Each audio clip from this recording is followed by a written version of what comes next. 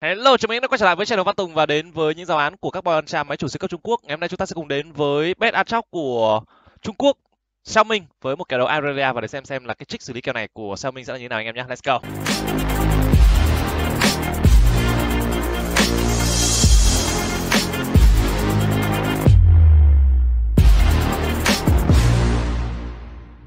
Ok, Achok đánh cùng với các đấu sĩ khu đường trên là một kèo đấu không dễ về mặt chất tướng, nó thua nhiều con lắm anh em ạ, thua Fiora, thua cá sấu, thua tùm lum hết.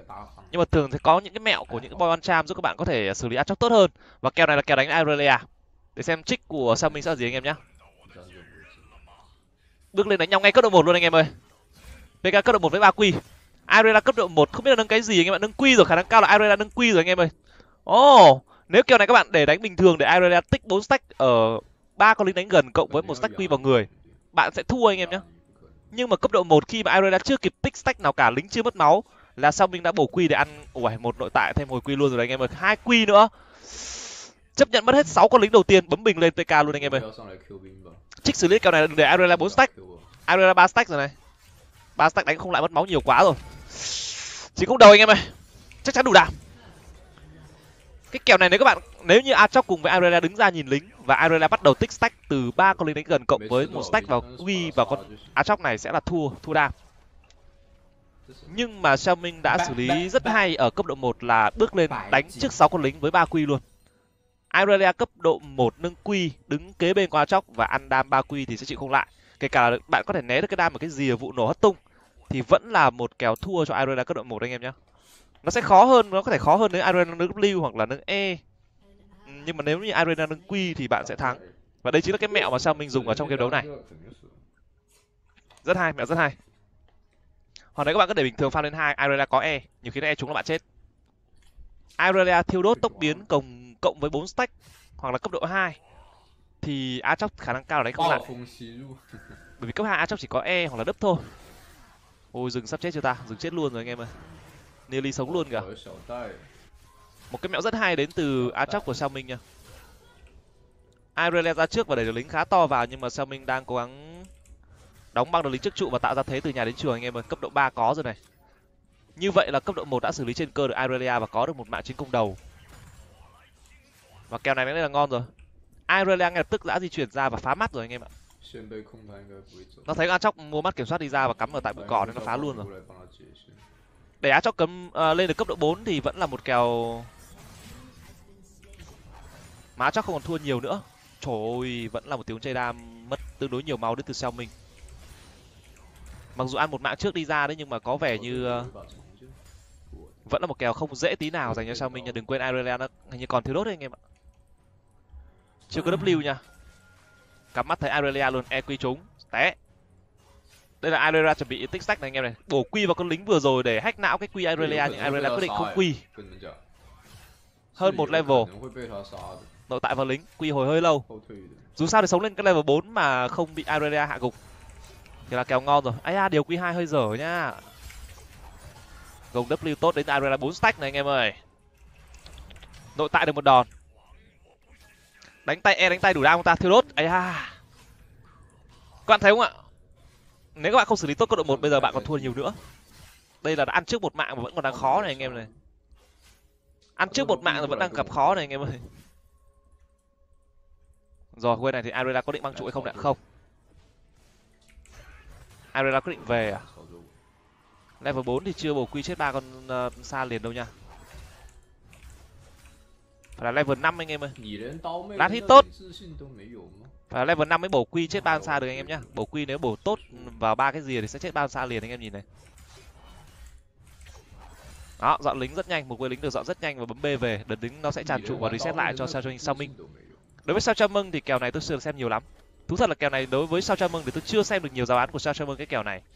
Xem sao cho mừng thì xem nhiều với mấy kèo như kiểu là fiora cá sấu revenge mordekaiser set darius. Còn chưa được xem kèo Arela nhiều lắm. Ngày hôm nay thì xem sao minh đánh kèo này thì uh, thấy là sao minh có kinh nghiệm xử lý kèo này khá tốt ở cấp độ một. Vượt qua được khoảng thời gian khốn khó nhất quá chóc rồi. Là khoảng chừng ba level đầu. Và thậm chí có một mạng gục nữa cơ. Và bây giờ đi ra thì sẽ lời hơn một phép bổ trợ. Đó chính là cái thiếu đốt được hồi lại sớm hơn so với thiếu đốt của Irelia mặc dù vậy thì thời gian hồi thiếu đốt nó nhanh lắm trên đường đi ra thì quá giang bãi người đá trước khi Irelia nó đẩy lính vào anh em nhé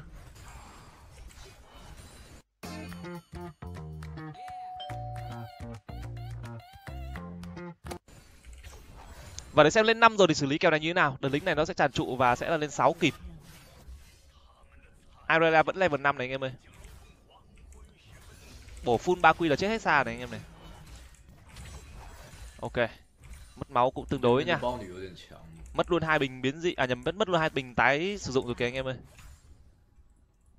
Level 5 bật chiêu cuối oni luôn, bật chiêu cuối oni luôn anh em ơi, bật chiêu cuối luôn. Quý hai tốt. Quý ba chưa mất rồi, ok đi bộ thật đánh tay tới chết. E đánh tay rồi, ok, solo kill. Irelia không có tốc biến anh em ạ. Không có tốc biến đứng trước bạn á trong level 6 nó bổ đi chết thôi. Nếu như đó là Irelia level 6 tôi nghĩ là vẫn Oni vẫn thua đấy ạ, bởi vì không có lính. Không có lính, tức là Irelia thì nó sẽ không có hút máu. Và tích stack thì có thể sẽ là lâu hơn và đó là pha solo kill rất đáng trách đến từ Irelia khi mà đứng trước mặt Achok trong bối cảnh là không còn tốc biến và không có lính để quy để có thể outplay những cú quy của Achok nữa. Thêm một sai lầm nữa đến từ Irelia cấp độ 1 thì đó là pha xử lý trích khất rất hay đến từ Sao Minh rồi. Nhưng pha vừa rồi là lỗi lớn đến từ Irelia anh em nhé và thực ra là những người chơi Antra Machok đều có thể nhìn ra tình huống vừa rồi là tình huống solo kia Aurelia. Tức là nhìn thấy Aurelia đứng vị trí đó là chết rồi không có tốc biến đứng lỗi và cách xử lý quy của Achok uh, trong tay sau minh thì bị lỗi cái quy ba. À, mặc dù vậy vẫn có solo kill vẫn đủ đam. mua full đam anh em ạ. Không quyết định lên giày thép gai sớm. Dừng đối phương là Nidali. À, nếu dừng đối phương là một con tướng đánh sát thương vật lý chẳng hạn như Lee Sin hay là uh, Gray các thứ thì lên giày thép gai sớm khá là hiệu quả. Kèo này thì cả hai bên mang thiếu đốt là hợp lý anh em ạ bởi vì cả hai vị tướng đều là hai vị tướng có xu hướng hồi máu khá nhiều. Tranh thủ ăn cơm nữa nên là đang uh, ra đường hơi trễ. Vẫn đón kịp một đợt lính tầm ba bốn con và kèo này thì bắt đầu có dấu hiệu lệch đồ rồi đấy anh em ạ. Lệch đồ lệch kinh nghiệm. Vì Iron đã chết tới hai mạng. Mạng đầu thì có thể đi ra kịp nhưng mà mạng thứ hai thì mất tương đối nhiều lính đấy nhá tôi quên check xem là mức rank ở cái game này nó là mức rank như thế nào. À, nhìn vào cs thì có thể đoán một phần nào đó thôi anh em. Nhìn vào cs vermin nữa q một e ra không bị trụ bắn. Q hai. Q ba trời ơi q ba hack não cái đấm q của Aurelia kìa anh em ơi. Thấy trao đổi chiêu thức như vậy thấy là thấy hơi mù cho Aurelia rồi nha. Lại em q một chúng nữa kìa. dừng đối phương nào ở đây thì phải.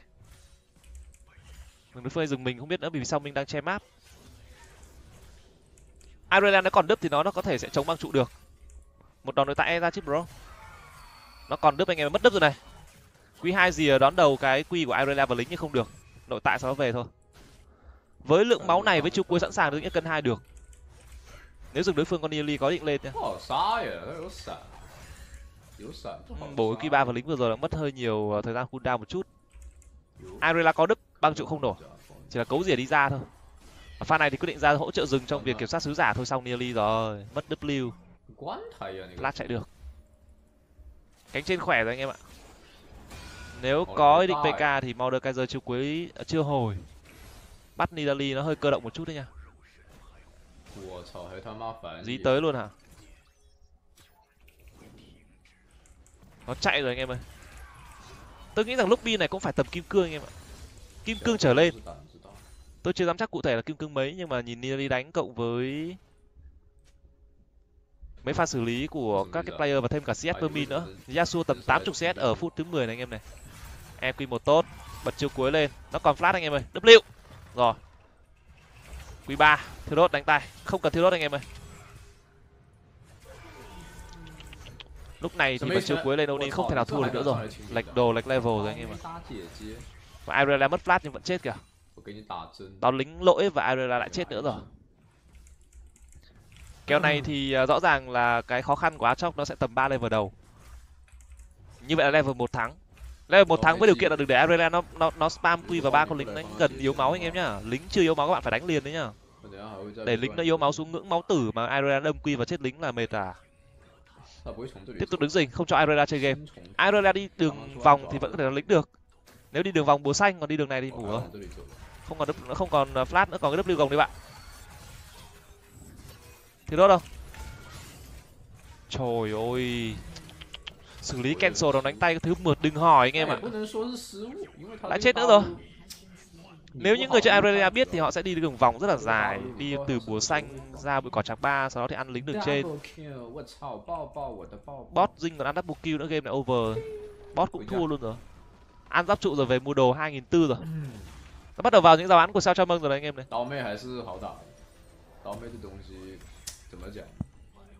Công nhận cái trích xử lý về một level một hay anh em ạ. nếu các bạn không biết cái trích đấy các bạn sẽ để cho Aurelia nó núp bụi cỏ sau đó lên được ờ, bốn uh, stack. Bạn có thể sẽ thua level một. Thua level một thì đồng nghĩa thua level hai level hai kiểu gì thua anh em level hai Aurelia nâng đứt hay nâng e gì nó cũng sẽ win rồi. và lên level ba nhiều khi bạn sẽ vào quê lính bị băng trụ chết đứng trên mọi thứ đều đã được hóa giải bằng tiếng xử lý rất tốt ở cấp độ một của sao minh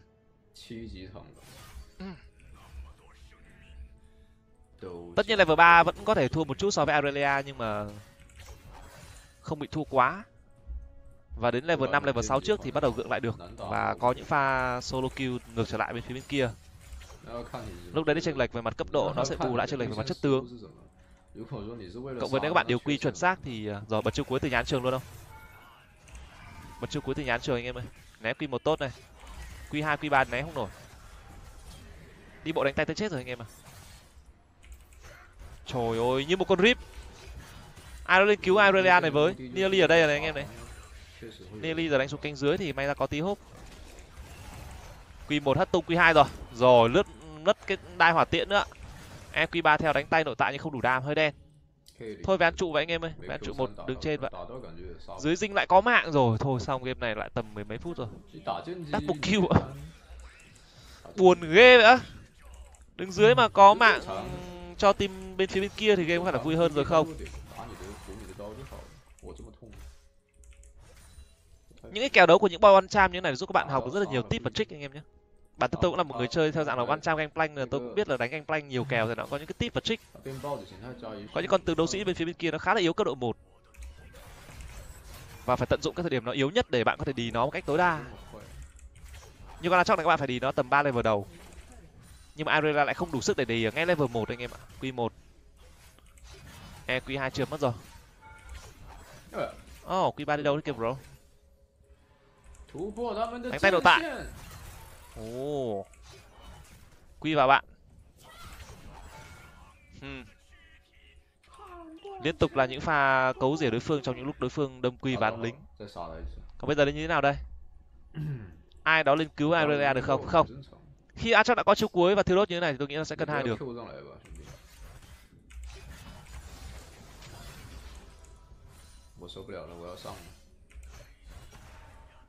Bật chiêu cuối luôn không? Chiêu cuối giết luôn không quý hai tốt rồi bật chiêu cuối thiếu đốt rồi. Né nhẹ cũng làm choáng đối phương bổ quy ba giữa đầu 140 tiền. giảm hồi máu đến từ thiếu đốt nó không ăn thua gì nữa rồi. Ờ, bên kia đâu hết rồi nhở bên kia đâu hết rồi anh em? Ăn luôn trụ hai trên top với giá 600 600 farm bằng thời gian. Yasu đang lên rồi này có Nearly không bạn? Có Nearly thì chơi nha không có thôi bỏ à ui Yasuo flash qua EQ Wow. flash luôn ạ. ui. Ui hấp huyết được không bạn? W hồi máu lại từ quy rồi sống luôn. Quý hai luôn này. Hồi quy lại bổ luôn đấy nha bạn. Rồi thôi xong Yasuo mất flash bạn ơi. Có con gì phía sau kia? Có con Seraphine à? Có Nearly đấy anh em ơi. Té té té té té té Nearly năm một kìa anh em Nearly xanh á. Nearly nãy bị giết cũng hơi cay thôi thôi té té té té té té té lobby này cũng phải tầm kim cương hai gì đấy anh em ạ? Tôi nghĩ là tôi nghĩ tầm tầm mức rank đấy. Chạy thôi anh em mà đứng ăn còn còn lao hoover là ăn shut down vào đầu à? Ý quá liều nào rồi. tên đường là đạo trượt nhưng mà Khazix vét được. Và phong cách của Xiao Minh vẫn là thư phục hận món hai nó không phải là món trang bị theo kiểu là vũ điệu mà nó là thư phục hận anh em cái thư phục hận này nó sẽ đè nặng cái khả năng gì ờ, đối phương tới chết. Gần như ai mà nó đi lạc mà bị con á chóc này nó bọc đầu thì chết chắc rồi. Gia sư biết chơi anh em ạ, Gia sư farm trăm ba rồi kìa.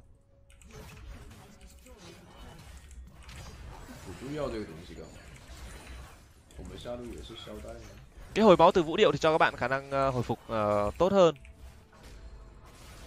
nhưng mà thương phục hận này thì nó dí đấm tới chết chạy không nổi. Mình cũng đã phân tích rất là nhiều về lối chơi của Sao Minh cũng như Sao Cha Mâng rồi.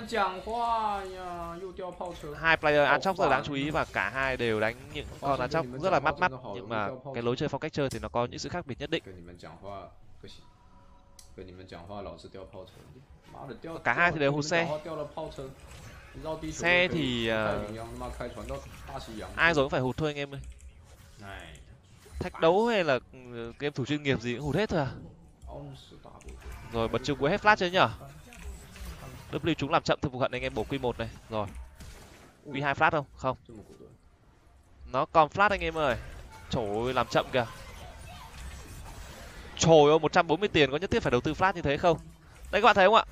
Cái thức phục hận nó sẽ giúp cho bạn solo kill được những pha như vừa rồi. Những pha như vừa rồi không có thức phục hận không solo kill được anh. em khả năng cao sẽ không solo kill được những pha như vậy vì không có cái làm chậm đến thiên thương phục hận.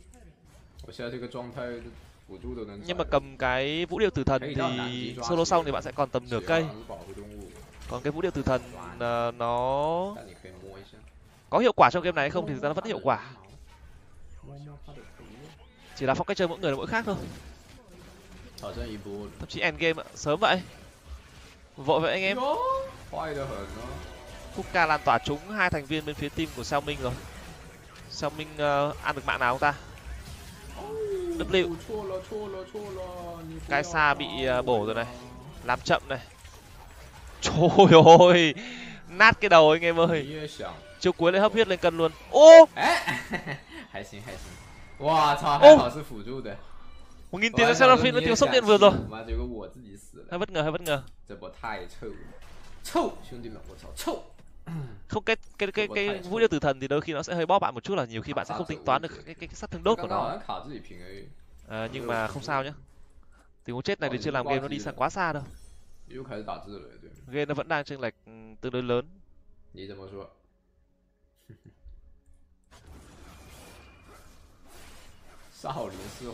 Dinh 12 ạ, Khazix năm không Chỉ có Modern Limit đang hơi fit tí thôi.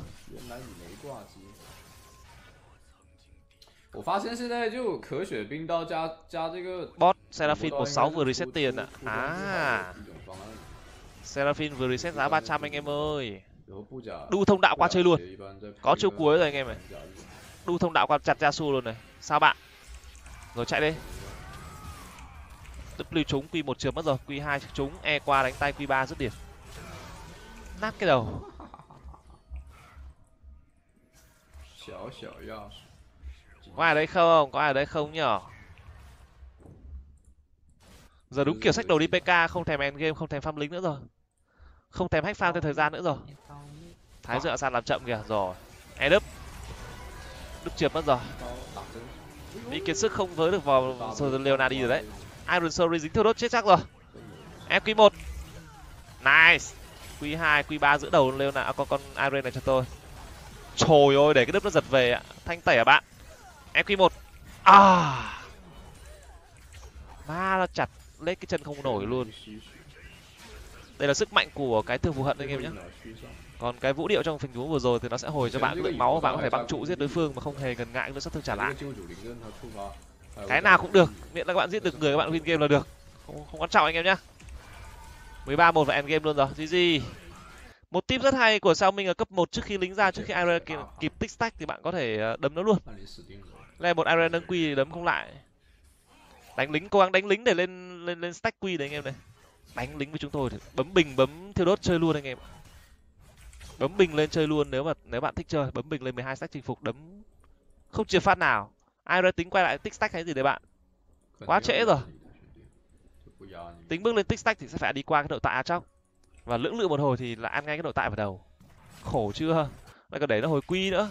Dính hai quy rồi bây giờ kể cả na chót không có quy nó đánh ừ. tay với thiếu đốt thôi chết rồi. Bây giờ bước lên tích tách từ lính này anh em này. bốn sách không? Một hai. Ui con lính kia lại không chết. Con lính này nó còn một máu anh em mà. Ba stack thôi à? Tính ra nếu có thể quy stack thứ tư vào con áo chóc này thì uh, mất quy rồi kìa anh em kìa. Con lính chưa chết kìa. Trời ơi, flash cái gì nữa, dính cái thứ đốt nội tại này chết chắc rồi. Một tip xử lý khá hay đấy từ sau mình. Sau đó thì vẫn thua level 3 anh em nhé. Tầm level 3 đi lên thì gặp con Irelia nó vẫn là một con khá khỏe. Tầm level 3 nó ba kỹ năng nó bốn stack nó vẫn khỏe. Thì thôi nhịn nó một tí, lên level 5 thì uh... chơi thôi anh em. Tầm này nếu mà Irelia đứng lại nhiều khi không giết được Aatrox đâu anh em ạ